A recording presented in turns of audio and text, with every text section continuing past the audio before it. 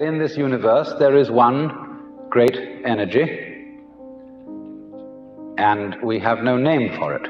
People have tried various names for it, like God, like Brahman, like Tao.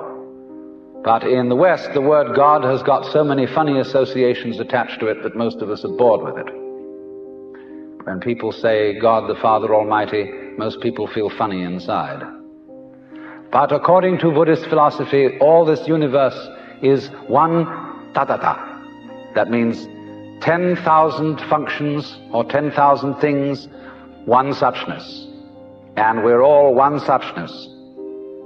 And that means that suchness comes and goes like everything else because this whole world is an on and off system. As the Chinese say, it's the yang and the yin.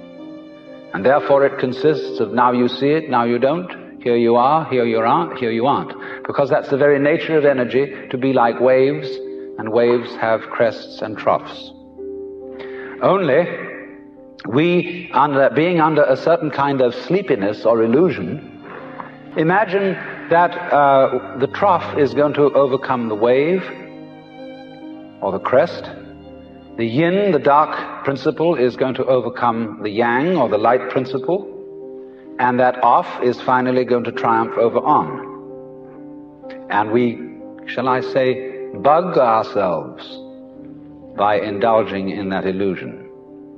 Gee, supposing darkness did win out, wouldn't that be terrible? And so we're constantly trembling and thinking that it may, because after all, isn't it odd that anything exists? It's most peculiar. It requires effort. It requires energy. And it would be so much easier for there to have been nothing at all. Therefore, we think, well, since being, since the is side of things is so much effort, you always give up after a while and you sink back into death. But death is just the other face of energy. And it's the rest, the not being anything around, that produces something around just in the same way that you can't have solid without space or space without solid. When you wake up to this and realize that uh, the more it changes, the more it's the same thing, as the French say, that you are really a playing of this one energy, and there is nothing else but that, that it is you, but that uh, for you to be always you would be an insufferable bore. And therefore, it is arranged that you stop being you after a while and then come back as someone else altogether. And so when you find that out, you become full of energy and delight. And you suddenly see through the whole sham of things. You realize you're, you're that. We won't put a name on it. You're that. And you can't be anything else. So you are relieved of fundamental terror.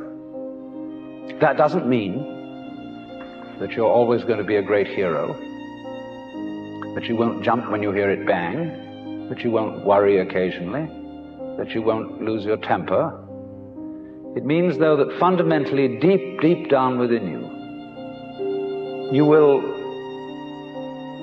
be able to be human in the pains, difficulties, and struggles that naturally go with human existence. But to have no hang up, that is to say, to be able to drift like a cloud and flow like water, seeing that all life is a magnificent illusion, a playing of energy, and there is absolutely nothing fundamentally to be afraid of. fundamentally. You will be afraid on the surface. You will be afraid of putting your hand in the fire. You will be afraid of getting sick. But you will not be afraid of fear. Fear will pass over your mind like a black cloud will be reflected in the mirror.